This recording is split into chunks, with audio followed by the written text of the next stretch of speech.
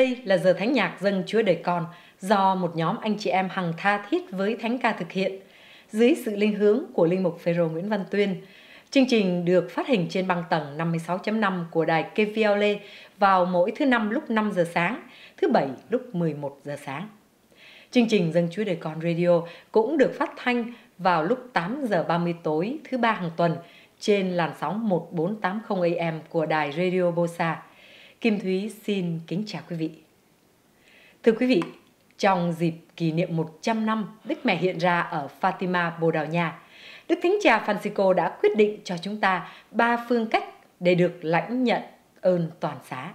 Bắt đầu từ ngày 27 tháng 10 năm ngoái đến 26 tháng 10 năm nay, năm 2017. Và ba phương cách dễ dàng để lãnh nhận ơn toàn xá là, thưa quý vị, cách thứ nhất, đi hành hương đến đền thờ ở Fatima. Cách thứ hai là chúng ta cầu nguyện trước một tượng Đức Mẹ Fatima được trưng bày tôn kính trong bất kỳ nhà thờ, đền thánh hay một nơi thích hợp trong những ngày kỷ niệm của các cuộc hiện ra là những ngày 13 của mỗi tháng từ tháng 5 đến tháng 10 năm 2017 và xuất sắng tham gia một buổi cầu nguyện vinh danh Đức Trinh Nữ Maria. Và cách thứ ba để dành cho những người già và ốm yếu là họ có thể cầu nguyện trước một bức tượng Đức Mẹ Fatima với một tinh thần liên kết với lễ kỷ niệm năm thánh, tức là vào những ngày của các cuộc hiện ra ngày 13 của mỗi tháng từ tháng 5 cho đến tháng 10 năm 2017. Thưa quý vị, vậy là chúng ta còn hai dịp để được lãnh nhận ơn toàn xá là ngày 13 tháng 9 và 13 tháng 10 sắp tới đây, thưa quý vị. Và trong chương trình Thánh ca hôm nay, Kim Thúy xin gửi đến quý vị ba nhạc phẩm ca tụng Đức Mẹ do bốn cô ca viên trẻ của cao đoàn Tam Biên, nhóm một giờ chiều Chủ nhật trình bày. Kim Thúy cũng xin mời quý vị theo dõi phần trò chuyện ngắn của các em với chị Hồng Thanh trước khi gửi đến quý vị các nhạc phẩm do chính các em giới thiệu. Giờ đây Kim Thúy mời quý vị cùng theo dõi. Xin kính chào quý vị khán thính giả chương trình Thánh ca Dân Chúa Đời Con. Tôi tên là Hồng Thanh, rất được hân hạnh lên để nói về chương trình của Đức Mẹ Fatima nhân kỷ niệm 100 năm ngày Đức Mẹ hiện ra tại Fatima. Cùng hiện diện với chúng tôi hôm nay có các em ca viên của ca đoàn nhà thờ Chánh Tòa Chúa Kitô. Chị xin mời các em hãy cùng tự giới thiệu với nhau. Dạ, em tên là Quỳnh Anh, em xin được kính chào quý vị khán thính giả. Dạ em tên là Thanh Hiền, em xin kính chào quý khán giả. Dạ em tên là Vi Vân, em xin kính chào. Và em là Ngọc Nhung. Xin kính chào chị Hồng Thanh. Xin chào dạ. các em. À, cảm ơn các em nhiều. Và chúng ta hôm nay có một chương trình rất là dễ thương nói về Đức Mẹ không? Trong chương trình này chúng ta nói về Đức Mẹ Fatima. Và bài nhạc đầu tiên mà chị Thanh muốn giới thiệu đến với quý vị khán thính giả đó là bài Lời mẹ nhắn nhủ của linh mục nhạc sĩ Huyền Linh. Bài hát này rất phổ thông cho mọi người Việt Nam chúng ta. Ai đến nhà thờ vào dịp kỷ niệm 100 năm của Đức Mẹ Fatima thì gần như nhà thờ, nhà xứ nào cũng đều hát nhạc phẩm này. Và bây giờ chị hỏi các em nhé, trong cái mệnh lệnh của Đức Mẹ Fatima, Ngài nói gì vậy? Có ai nhớ không? Dạ thưa chị, đúng ra thì bốn, bốn đứa em ngồi lại với nhau làm việc và tìm những cái nhạc phẩm để đem đến um, chia sẻ cùng với quý vị ngày hôm nay. Ừ. Thì một trong những nhạc phẩm mà khi mà nhắc tới Đức Mẹ Fatima là hầu như mọi người ai cũng đồng ý là bạn à, là nhạc phẩm lời mẹ nhắn nhủ. Ừ. À, từ vì trong đó nó gói gọn hết ba cái um, mệnh lệnh mệnh lệnh mà mẹ gửi đến cho mình. Thì um, đó cũng là là nhạc phẩm đầu tiên mà chúng em xin được gửi đến tất cả mọi người. Chị không ngờ tụi em rất còn trẻ mà lại rất là yêu mến đức mẹ như vậy. Cảm ơn chúa và đức mẹ nhiều. Thế thì chị xin nhắc lại một tí nhé.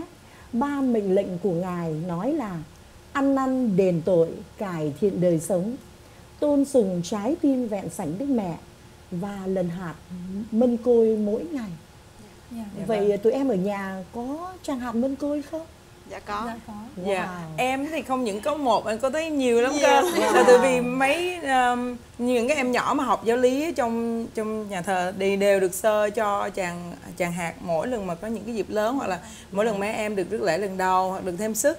Thì um, nhưng mà có một cái em em thật sự em rất là dở là tại vì khi mình có ở Việt Nam thì mình có ông bà lần chuỗi mân cô mỗi tối.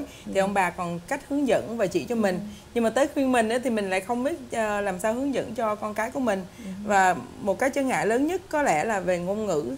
Thì ờ, nhiều khi mình phải gọi là thay phiên nhau. Ờ, mẹ đọc 10 kinh tiếng Việt rồi xong con đọc 10 kinh tiếng Anh. Chứ còn không thì nó cứ nó cứ nó đua theo mình đâu mà nó thực sự không hiểu gì hết. Dạ. vâng. Nhưng mà thì như là theo em biết là chị Thanh có lẽ là chị chị giỏi về cái um, uh, cái phương cách lần chuỗi hơn là em chị rành về phương cách lần chuỗi hạt, hạt hơn em thì theo em biết là hồi xưa mình có ba hay bốn sự ngắm gì như có sự thay đổi phải không chị À, cảm ơn em nhiều đã cho chị một cái ờ, rất là hay để hiểu hơn về những à, ngắm của chàng hạt mân côi. Thế thì cái này đó mình sẽ để dành cho cái bài thứ hai. Được không ạ? Dạ Vậy bây giờ xin Quỳnh Anh hãy giới thiệu bài nhạc mà chúng em đã chọn. Dạ, à, kính thưa quý vị khán thính giả của chương trình Thánh ca Dân Chúa Đời Con, nhạc phẩm đầu tiên mà chúng em xin chọn để gửi đến quý vị nhân kỷ niệm 100 năm Đức Mẹ hiện ra tại Fatima, nhạc phẩm Lời Mẹ Nhắn Nhủ à, của Linh Mục Huyền Linh, bút danh là Lê Huy.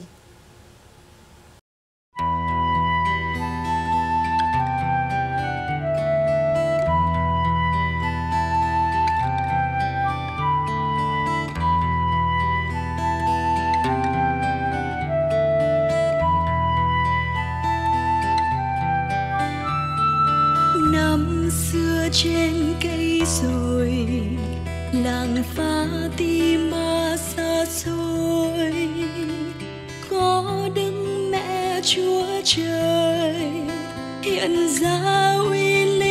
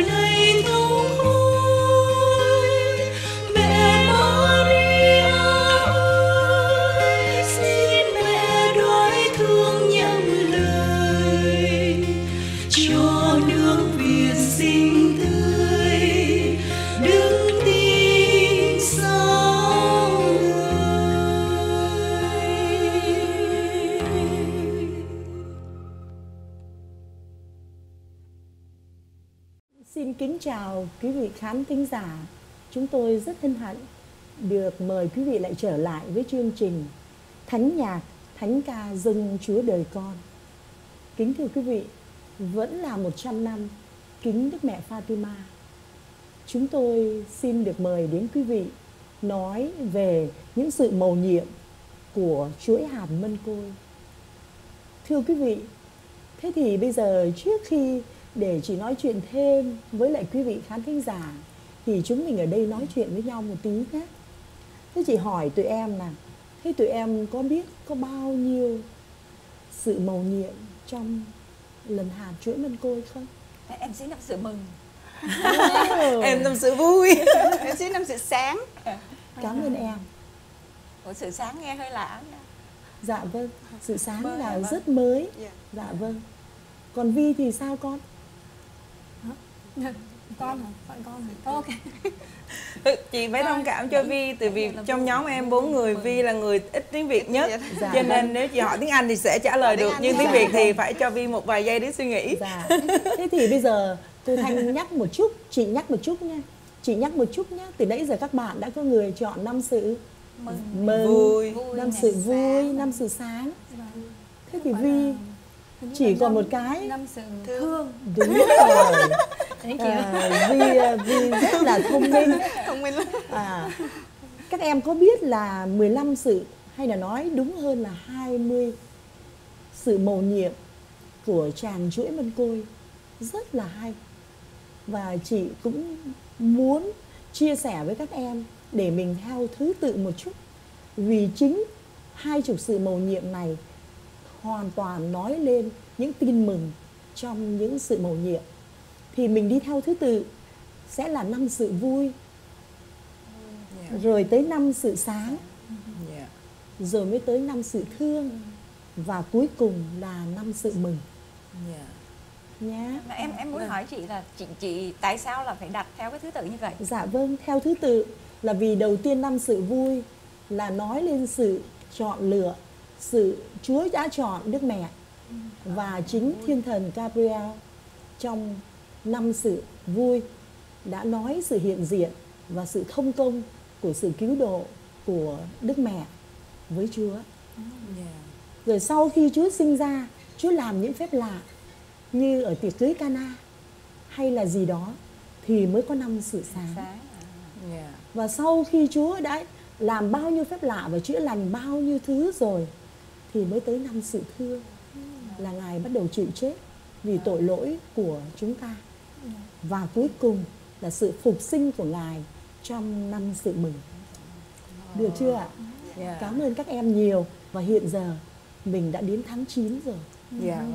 Và 13 tháng 9 này mình sẽ có một buổi gì đặc biệt. Chị nghĩ chắc Quỳnh Anh giới thiệu cho khán thính giả biết một tí. Dạ vâng. À, thứ tư 13 tháng 9 tới đây tại nhà thờ Chánh tòa Chúa Kitô sẽ có phần diễn thuyết của linh mục Vũ Thế Toàn và cũng sẽ có một thánh lễ để cho chúng ta có thể được hưởng ơn toàn xá um, xin, nếu như quý vị có thời gian xin quý vị cùng tham gia và quý vị cũng muốn gặp lại bốn cô bé xinh xinh này thì xin mời quý vị chúng ta đến vừa kính mến đức mẹ vừa gặp nhau vì đức mẹ là một cái tràng chuỗi rất là tốt lành để chúng ta sẽ gửi đến với Chúa. Và chị mong rằng bây giờ một em nào đó chúng ta sẽ giới thiệu cái bài hát thứ hai mà các em đã chọn nhân dịp kỷ niệm 100 năm Đức Mẹ hiện ra ở Fatima. Dạ, nhạc kế, kế tiếp là uh, bài Chuỗi Ngọc Vàng Kinh của nhạc sĩ Phạm Đức Huyến. Xin sương lên mẹ lời kinh mân côi ngàn lời yêu mến vạn tiếng hoan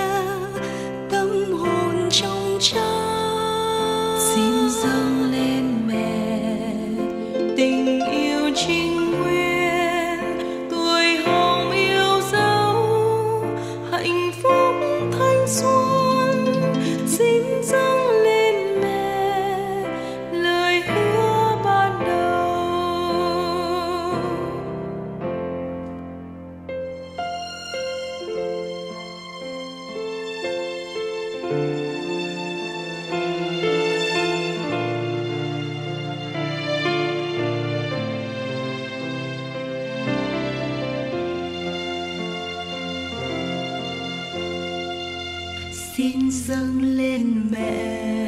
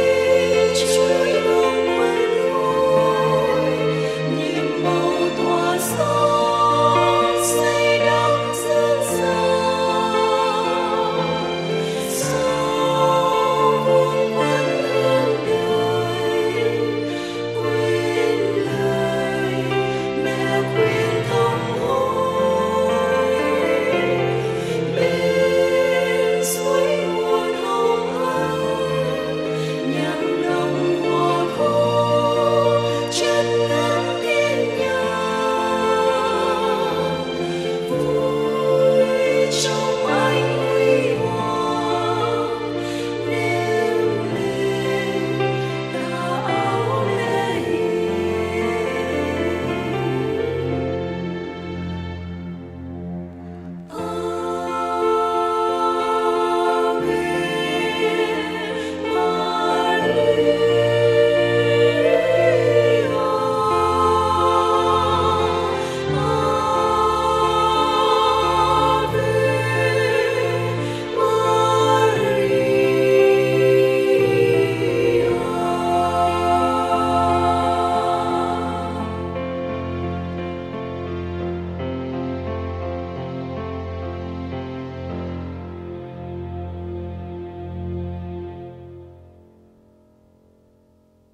Trong cái tâm tình mà chị em chúng ta vừa mới chia sẻ trong phần 3 của chương trình về Đức Mẹ kỷ niệm 100 năm hiện ra ở Fatima. Thì chị được biết các em đã chọn một bài rất là dễ thương để gửi đến Đức Mẹ. Thì xin một em chẳng hạn như Nhung Vâng. xin em giới thiệu bài hát. Dạ vâng. chị cũng thêm một chút nhé. Nhạc ờ, bài nhạc nguồn cậy trâm của nhạc sĩ Hoàng Vũ do các em, ca viên của ca đoàn nhà thờ Chánh Tòa Chúa Kitô trình bày. Xin mời quý vị cùng thưởng thức.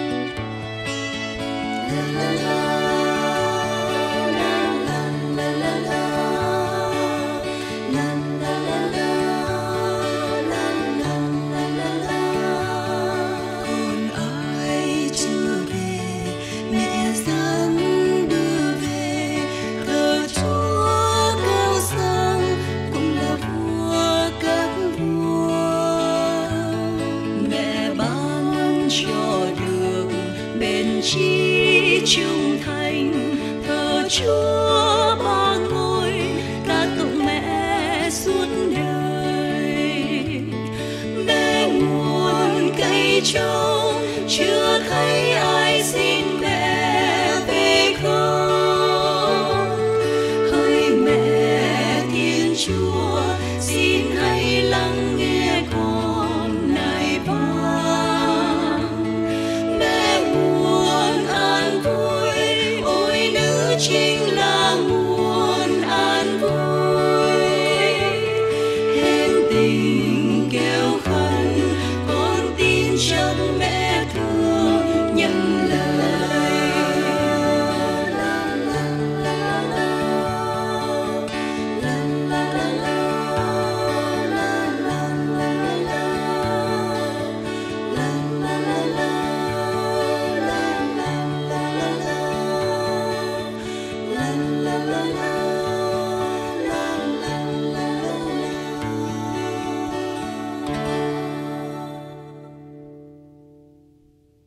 Thưa quý vị, chương trình Thánh ca của chúng ta đến đây xin được tạm ngưng. Kim Thúy hy vọng quý vị vừa có được những giây phút thật bổ ích và thoải mái. Kim Thúy xin kính chào quý vị và kính chúc quý vị một ngày Chủ nhật thật vui và một tuần lễ thật thánh thiện bên những người thân yêu của gia đình. Và hẹn gặp lại quý vị trong chương trình Dân Chúa Đời Con vào tuần sau.